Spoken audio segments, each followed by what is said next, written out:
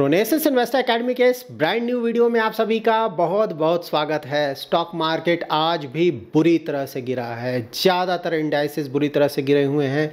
Sectors और theme सभी जगह ब्लड बात है। ज़्यादातर स्टॉक्स भी गिरे हुए हैं।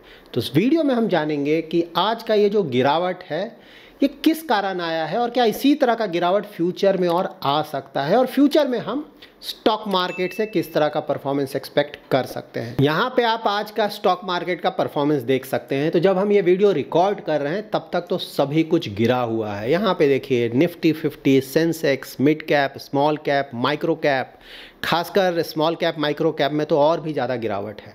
तो अक्रॉस सेलिंग ऐसा नहीं कि लार्ज कैप कोई कम गिरे, वो बहुत ज़्यादा गिरावट है तो कंप्लीट ब्लड बात इसे आप बोल सकते हैं। और इसके अलावा अगर आप लार्ज कैप क्यों गिर रहा है तो अगेन बैंकिंग भी गिरा हुआ है आईटी भी गिरा हुआ है सेक्टर वाइज और दोनों के जो मेजर स्टॉक्स हैं लाइक सबसे ज़्यादा वेटेज देखें तो एचडीएफसी बैंक भी गिरा हुआ है रिलायंस तो बहुत ज़्यादा गिरा है आई बैंक भी गिरा है। और सेक्टर वाइज भी अगर देखें तो कंप्लीट ब्लड बात है आज ना। मतलब ज़्यादा अगर देखें तो रियलिटी बहुत गिरा है, मेटल गिरा है, सेंट्रल पी बहुत ज़्यादा गिरा हुआ है, oil and gas, infra, commodities overall yes इसे बोल सकते हैं ना कॉम्प्रिहेंसिव सेलिंग मतलब ऑलमोस्ट सभी को ऐसा लग रहा है कि आज बेचने के मूड में है, इसलिए ज़्यादातर डाउन है, कुछ ही स्टॉक्स आपको मिलेंगे, जो कि पॉजिटिव है। इवन आज वारी एनर्जीज भी ना, सुबह अगर देखते तो फोर परसेंट के आसपास डाउन हो गया था बट हाँ बाद में थोड़ा रिकवर हुआ, अभी तो थोड़ा पॉजिटिव आसपास है, देखते हैं कहाँ पे क्लोज होता है। देखिए, सबसे पहले तो हमें ये जानना होगा कि पूरे अक्टूबर मंथ में ही, ठीक है मार्केट का परफॉर्मेंस अच्छा नहीं रहा है। Large cap mid cap small cap सभी कुछ गिरे हैं। तो देखिए, गिरने का रीज़न क्या है? तो गिरने के रीज़न ऑलरेडी हम कई बार डिस्कस कर चुके हैं। एक बार फिर से मैं रिपीट कर दे रहा हूँ आपके लिए कि फ़िलहाल कौन कौन से रीज़न्स हैं, जिसके कारण मार्केट अप या डाउन हो सकता है आने वाले समय में भी।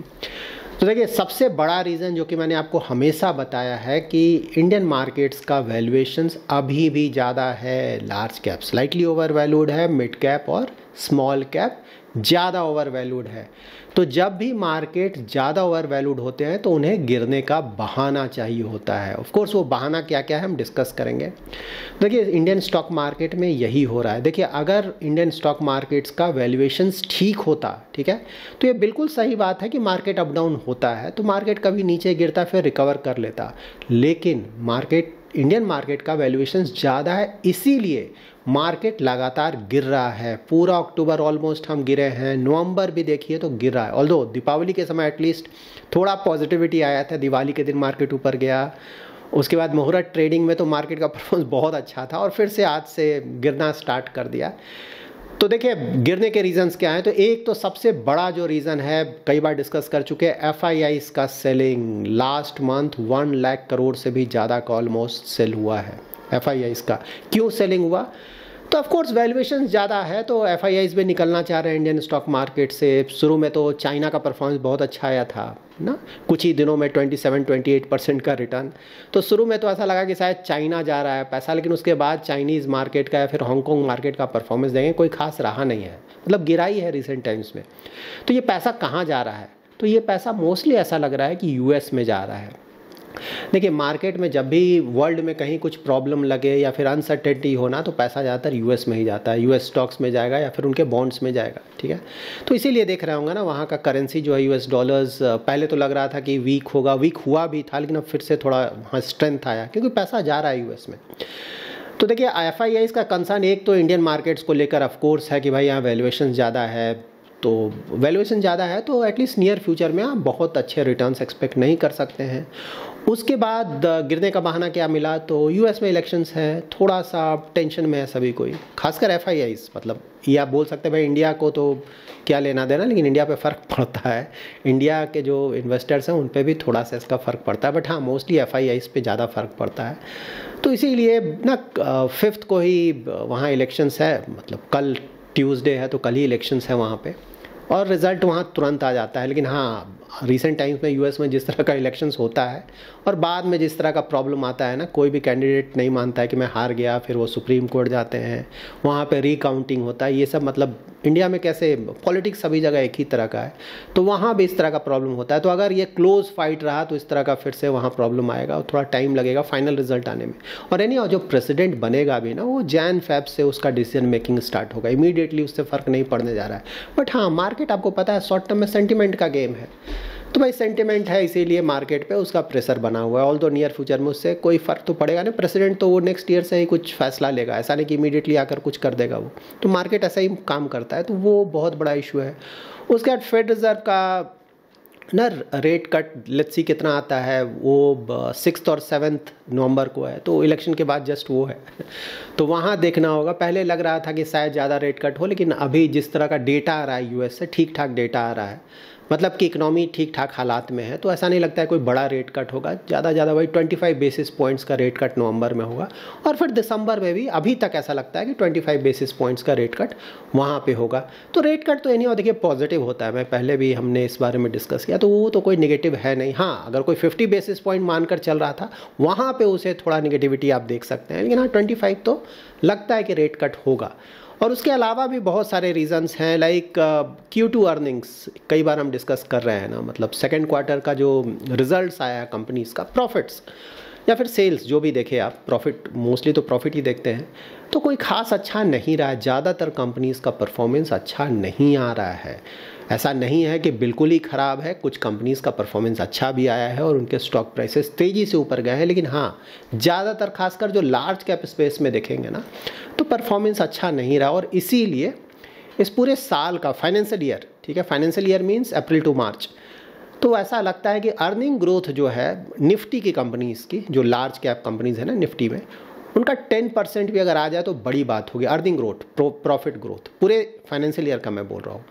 क्योंकि ये जो क्वार्टर है ना सेकेंड क्वार्टर ये पूरा लेकर बैठ जाएगा मोस्टली तो उसके कारण जो ओवरऑल फाइनेंशियल ईयर का अर्निंग ग्रोथ है, वो भी शायद कम आए। तो अगर टेन परसेंट से ऊपर हो जाए तो बहुत बड़ी बात है बट अभी तक लगता है कि शायद टेन परसेंट के आसपास ये उससे थोड़ा कम ही होकर आएगा। तो वो भी एक बड़ा प्रेशर डालता है मार्केट पे, क्योंकि मीडियम टू लॉन्ग टर्म तो कंपनी का परफॉर्मेंस है ना। अपना, आपका इकोनॉमी कैसा कर रहा है कंपनीज़ का परफॉर्मेंस कैसा चला उसके आधार पर ही तो स्टॉक मार्केट मूव करता है। शॉर्ट टर्म में तो सेंटिमेंट है यूएस में क्या हो गया चाइना में क्या हो गया इंडिया में क्या हो गया मतलब बिना इकोनॉमिक्स के कुछ दूसरा मैटर भी पॉलिटिक्स कुछ हो गया। तो उससे भी फ़र्क पड़ जाता है जियो क्या हो रहा है तो उससे भी फ़र्क पड़ जाता है। लेकिन मीडियम टू लॉन्ग टर्म तो कंट्री है, आपका कंट्री कैसा कर रहा है कंपनीज़ का परफॉर्मेंस कैसा कर रहा है। इसलिए मैं बोलता हूँ ना शॉर्ट टर्म तो प्योर लक है। वहाँ भगवान की कृपा हो तो बहुत अच्छा रिटर्न नहीं तो आपका प्रिंसिपल अमाउंट भी कम हो जाएगा। और medium to long term of course वहाँ पर परफॉर्मेंस डिपेंड करता है। तो यहाँ पर इसके अलावा राइजिंग ऑयल प्राइसेस ना ऑयल प्राइसेस पहले 74 75 चल रहे थे। मतलब ब्रेंड क्रूड की मैं बात बोल रहा हूँ पर बैरल यूएस डॉलर्स तो ये 74 75 था, उसके बाद फिर 71 72 के आसपास आ गया। उसके बाद फिर से ये 74 क्रॉस कर गया। क्यों क्रॉस कर गया? है एक तो जियो पोलिटिकल टेंशन आपको पता है। अब ईरान फिर से बोल रहा है कि मैं अटैक करूँगा इसराइल पे। और ये जो भी अटैक हो रहा है ना मतलब फ़र्स्ट अटैक से जो सेकंड अटैक था, वो कहीं ज़्यादा सीवियर था। अब ये जब थर्ड अटैक होगा तो माना जा रहा है ये सेकेंड से भी ज़्यादा सीवियर होगा। उसी तरह से जब इसराइल काउंटर अटैक करेगा उसके बाद तो वो और भी ज़्यादा सीवियर होगा। तो ये पता नहीं कब रुकेगा। तो लेट्स सी वो भी एक अननेसरी हेडेक है जो कि इस पूरे वर्ल्ड को परेशान किए हुए है। इन दोनों का जो चल रहा है हाँ। तो ये भी एक देखना होगा कि आगे क्या होता है। अगर ज़्यादा एस्केलेट होता है तो अगेन ऑयल प्राइसेस का रेट बढ़ेगा तो इंडियन इकोनॉमी के लिए अच्छा नहीं इसके अलावा ओपेक प्लस पहले बोल रहा था ना, दिसंबर तक वो अपना प्रोडक्शन बढ़ाएगा, जिसके कारण ऑयल जो प्राइसेस हैं, लग रहा था कि और शायद थोड़ा नीचे जाएगा या फिर एटलीस्ट ऊपर नहीं जाएगा।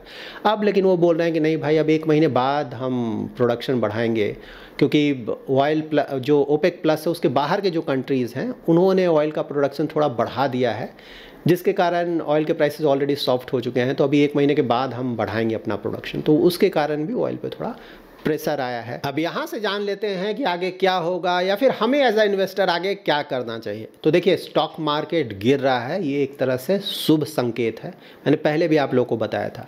ठीक है, देखिए नेचुरल है ना, एक तो स्टॉक मार्केट वोलाटाइल होता ही है। मतलब कभी ऊपर जाएगा, कभी नीचे जाएगा। देखिए, सभी लोग एक साथ अमीर तो नहीं बन सकते हैं ना। ठीक है, अमीर बनने के लिए आप में कुछ क्वालिटी होना चाहिए, क्योंकि stock market medium to long term में तो अमीर बनाता है, इसमें तो कहीं कोई डाउट नहीं है। शॉर्ट टर्म मैंने ऑलरेडी बताया, भगवान की कृपा है, ठीक है तो वहाँ उसकी तो बात ही नहीं करनी, वो प्योर लक है। लेकिन medium to long term stock market लोगों को अमीर बनाता है, ठीक है, ये बात तो है मतलब five year ten year fifteen twenty year जितना लंबे समय तक आप बने रहेंगे। तो यही गेम है ना, जो लॉन्ग टर्म तक बना रहेगा, वही अमीर यहाँ पे बन पाएगा, अपने पैसे को ग्रो कर पाएगा, जो बीच में भाग जाएगा ऑफकोर्स उसके पैसे नहीं बनेंगे। तो ये बेसिक चीज़ है।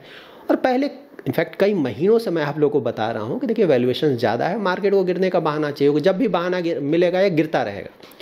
और अभी ये गिर भी रहा है और आने वाले और कुछ समय तक ये और भी गिरता रहेगा, ऐसा लगता है, ठीक है? कितना गिरेगा एग्जैक्टली exactly कब तक गिरेगा नो बडी नोज़ लेकिन हाँ वैल्यूएशन देख के ऐसा बिल्कुल लगता है कि आने वाले कुछ और समय तक स्टॉक मार्केट पे प्रेशर बना रहेगा। इसीलिए आप लोग का क्वेरी आता है ना लमसम करें। मैं बोला, अरे लमसम मतलब इतनी जल्दबाजी क्या है? आप या तो एसटीपी करें एस कर रहे तो बहुत अच्छा हो नहीं तो तीन चार ना पार्ट्स में डिवाइड कर दे पैसे को धीरे धीरे इन्वेस्ट करें, वो ज़्यादा अच्छा है। मैं तो एस टी पी हमेशा बोलता हूँ सिस्टमेटिक ट्रांसफ़र प्लान अगर कोई म्यूचुअल फंड के लिए जा रहा है स्टॉक्स है तो ऑफकोर्स ब्रेक डाउन करें थ्री फोर पार्ट्स में धीरे धीरे करें। किसी ने अगर ऑलरेडी पूरा कर दिया है, तब तो कोई हेडेक ही नहीं है ना मतलब। आपको तो मार्केट को ट्रैक करने की भी ज़रूरत नहीं, आराम से बैठना है, क्योंकि आपने लॉन्ग टर्म के लिए इन्वेस्ट किया शॉर्ट टर्म के लिए इन्वेस्ट किया है, तब तो मतलब आने वाले कुछ और समय आपके लिए बहुत डिफ़िकल्ट होगा। क्योंकि स्टॉक मार्केट यहाँ से और ज़्यादा नीचे गिर सकता है, लेकिन अगर medium to long term five ten fifteen twenty years ऐसा थोड़े कि मार्केट हमेशा गिरता ही रहेगा, वापस नहीं आएगा। बिल्कुल ये वापस आएगा। तो मोस्टली कुछ समय का, अब एग्जैक्टली कितना है, बोलना मुश्किल है, लेकिन हो सकता है कुछ महीनों का एट मैक्स शायद प्रॉब्लम रहे, उसके बाद रिकवर होगा। एफ़ ऐसा थोड़े कि हमेशा बेच कर भागते रहेंगे। एफ़ को सिर्फ़ रिटर्न से मतलब है। जैसे ही इंडियन स्टॉक मार्केट का वैल्यूएशन रीजनेबल हो जाएगा ना तो देखिएगा, फिर से वो ज़ोर शोर से वापस आएँगे। लार्ज कैप देखिए, मैं आप लोगों को हमेशा बता रहा था लार्ज कैप का रिटर्न थोड़ा ज़्यादा आना चाहिए और मिड कैप स्मॉल कैप का रिटर्न थोड़ा कम आना चाहिए। वैल्यूएशन को देखकर मैं बोल रहा था। तो अभी देखिए लार्ज कैप भी गिरे वो इसलिए क्योंकि एफ़ बेच रहे हैं, ज़ोर शोर से बेच रहे हैं। ठीक है? एफ़ एक बार जब वापस आने लगेंगे ना, क्योंकि जब वो बेचेंगे तो ऑफकोर्स लार्ज कैप में उनका ज़्यादा इन्वेस्टमेंट है तो लार्ज कैप से बिकेगा। और जब खरीदेंगे तो लार्ज कैप में ही ज़्यादा खरीदेंगे तो आप देखेंगे कि लार्ज कैप में अच्छा खासा तेज़ी आएगा जब वो वापस आएँगे। ऑफकोर्स थोड़ा और समय लग सकता है, लेकिन वापस तो आएँगे ही, क्योंकि रिटर्न तो यही बनेगा ना मीडियम टू लॉन्ग टर्म उन्हें भी ये पता है। बट हाँ वैल्यूएशन के कारण वो भाग रहे हैं। तो इसीलिए मैं बोल रहा हूँ कि एटलीस्ट नियर फ्यूचर में आगे मतलब एक साल का अगर बोला जाए आगे तो बिल्कुल लार्ज कैप का प्रोस्पेक्ट रिलेटिवली बेटर है, क्योंकि वैल्यूएशन वहाँ रिलेटिवली बेटर है। और मिड कैप स्मॉल कैप में थोड़ा प्रेशर बना रहेगा, क्योंकि बहुत ज़्यादा रिटर्न्स आया है। एंड अगेन फिर सेम बात है कि मीडियम टू लॉन्ग टर्म सभी कुछ ऊपर जाएगा। हाँ, ऐसा नहीं है कि large cap mid cap large cap सिर्फ़ ऊपर जाएगा mid cap small cap down होता जाएगा। ऐसा नहीं है ना। शॉर्ट टर्म की मैं बात बोल रहा हूँ एक एक साल तो शॉर्ट टर्म होता है। फिर से साइकिल रिवर्स होगा फिर से ना लार्ज कैप का परफॉर्मेंस थोड़ा डाउन होगा मिड कैप स्मॉल कैप का परफॉर्मेंस थोड़ा ऊपर जाएगा। ये चलता रहेगा सिक्लिकल इसीलिए मैं बोलता हूँ शॉर्ट टर्म के लिए बिल्कुल भी ये चीज़ें ना करें। शॉर्ट टर्म है तो इक्विटी से दूर रहें आपके लिए, ना fixed income products debt mutual fund FD वो सब अच्छा है। लेकिन हाँ मीडियम टू लॉन्ग टर्म के लिए तो इक्विटी बहुत अच्छा है प्रोवाइडेड आप में इतनी हिम्मत हो कि आप टिके रहें।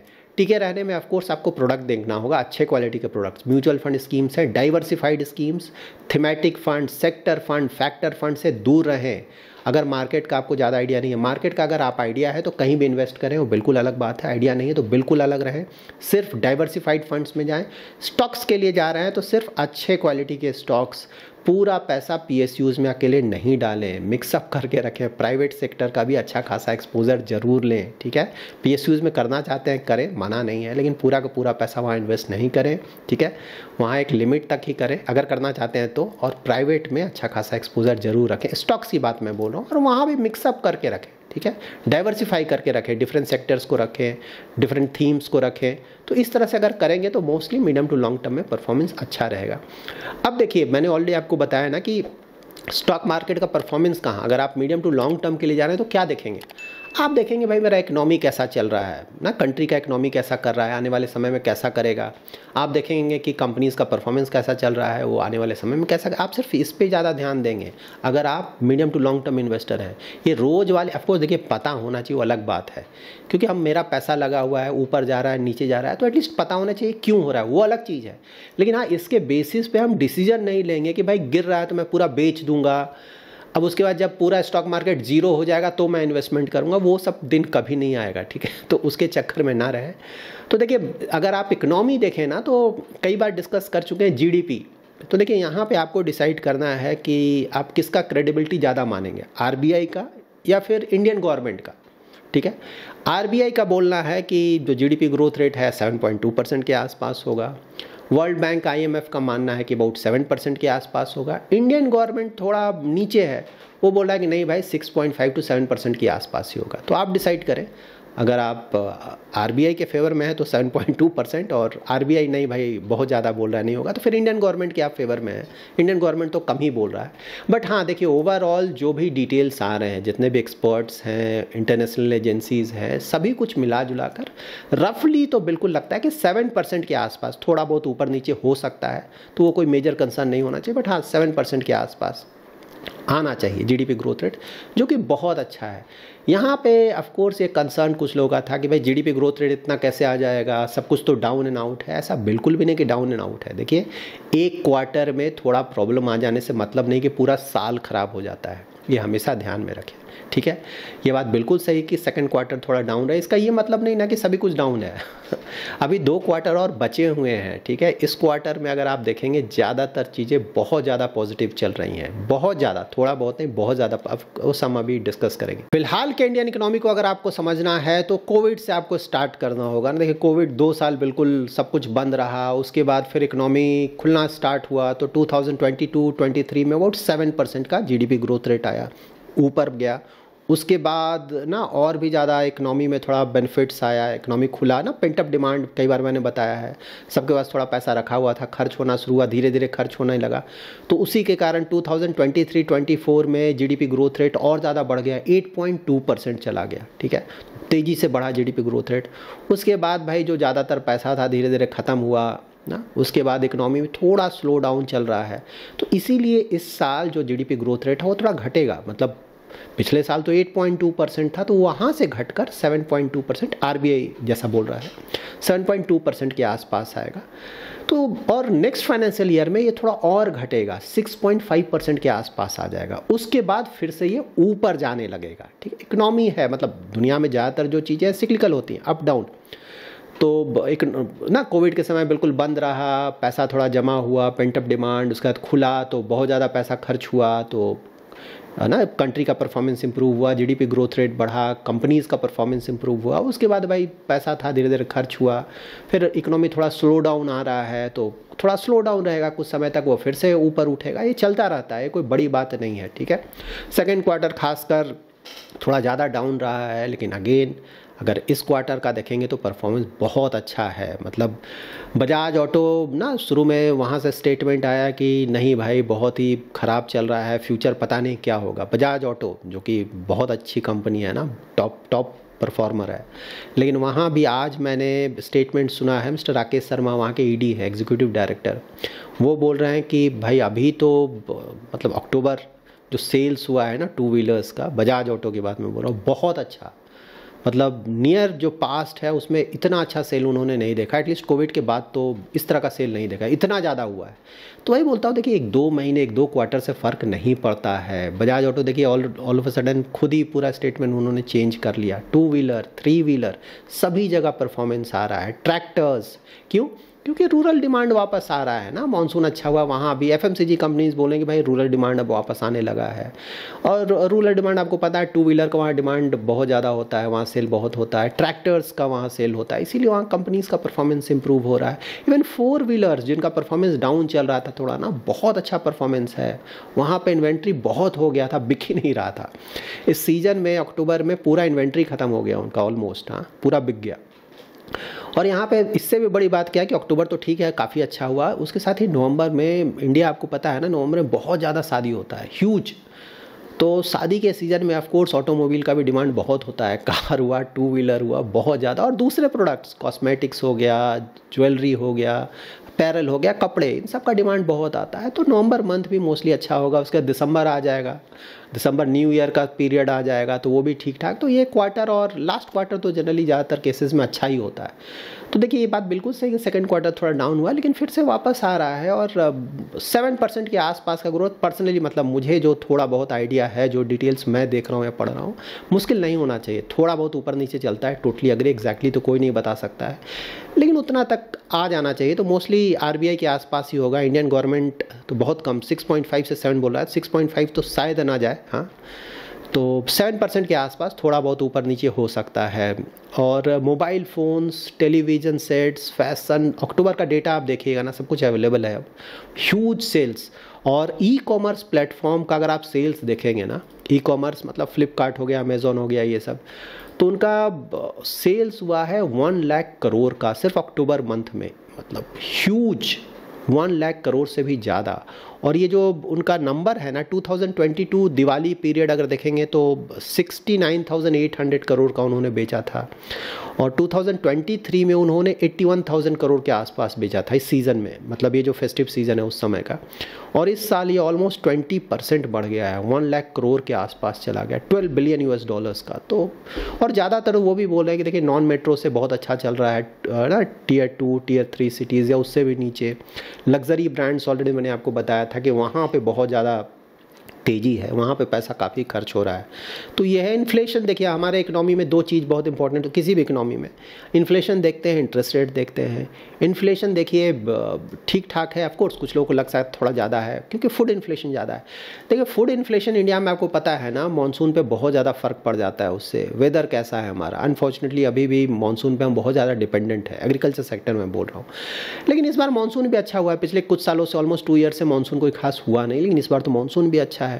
तो इन्फ्लेशन ये बिल्कुल सही बात है जो फ़ूड इन्फ्लेशन है लास्ट मंथ का परफॉर्मेंस थोड़ा डाउन रहा। इस मंथ भी फ़ूड इन्फ्लेशन थोड़ा ज़्यादा रहेगा, उसके कारण ओवरऑल इन्फ्लेशन हिट होगा। नवंबर से नवंबर से मोस्टली आप मतलब इस मंथ से सितंबर गड़बड़ हुआ अक्टूबर गड़बड़ हुआ, लेकिन नवंबर जो कि दिसंबर में इसका इन्फ्लेशन डेटा आएगा। वहाँ से आप देखेंगे कि इन्फ्लेशन धीरे धीरे कम होगा फ़ूड इन्फ्लेशन भी कम होगा। तो वहाँ से ये जो आरबीआई का टारगेट है ना 4.5 परसेंट का इस फाइनेंशियल ईयर का, वहाँ उसके आसपास हम पहुँच जाएँगे।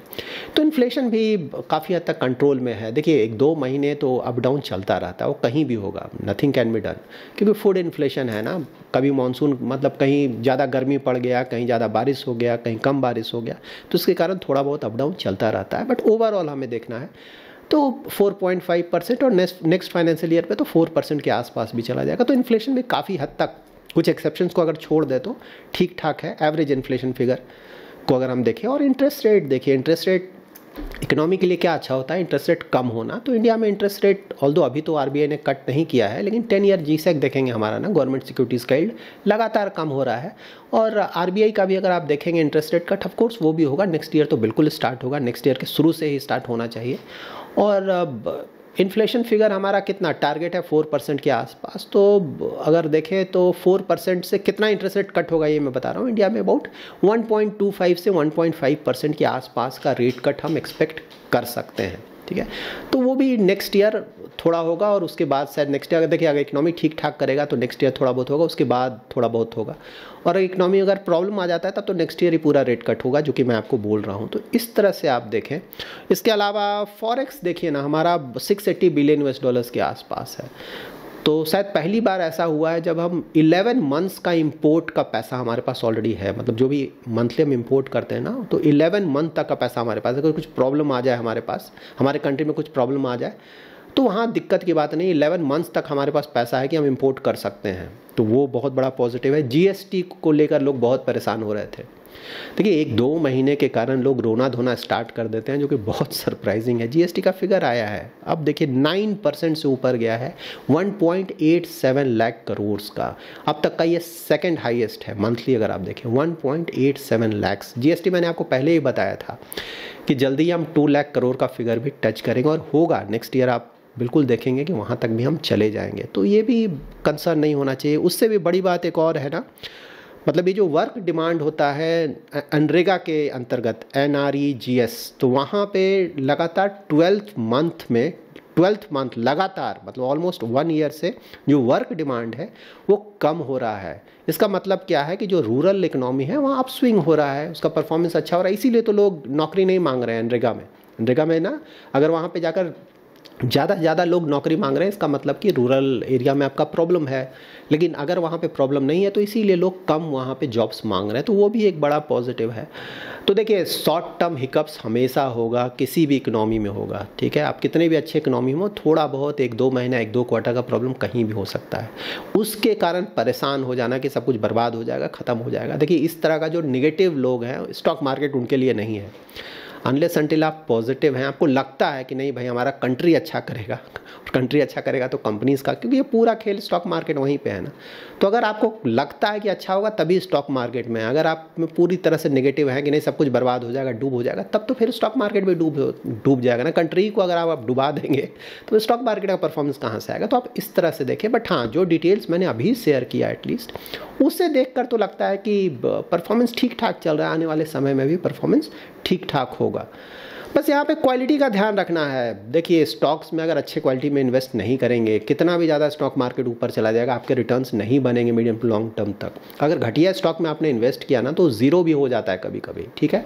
क्वालिटी का ध्यान रखें क्वालिटी का ध्यान रखेंगे तो मीडियम टू लॉन्ग टर्म आपके मोस्टली गारंटी तो किसी चीज़ की नहीं है ना स्टॉक मार्केट है, लेकिन मोस्टली अच्छे रिटर्न आने चाहिए। उसी तरह से म्यूचुअल फंड्स में क्वालिटी का ध्यान रखें डाइवर्सिफाइड बना के रखें।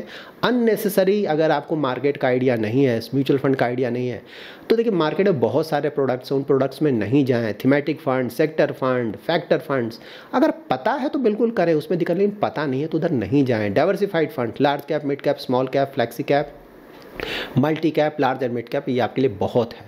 So that's it in this video इस वीडियो से रिलेटेड कोई भी क्वेरी है तो कमेंट में ज़रूर मेंशन करें। आने वाले वीडियोस में मैं ट्राई करूँगा उन्हें आंसर करने का। वीडियो पसंद आया है तो ज़रूर लाइक एंड शेयर करें। और पहली बार हमारे यूट्यूब चैनल पर आए हैं तो चैनल को ज़रूर सब्सक्राइब करें। Thanks lot for watching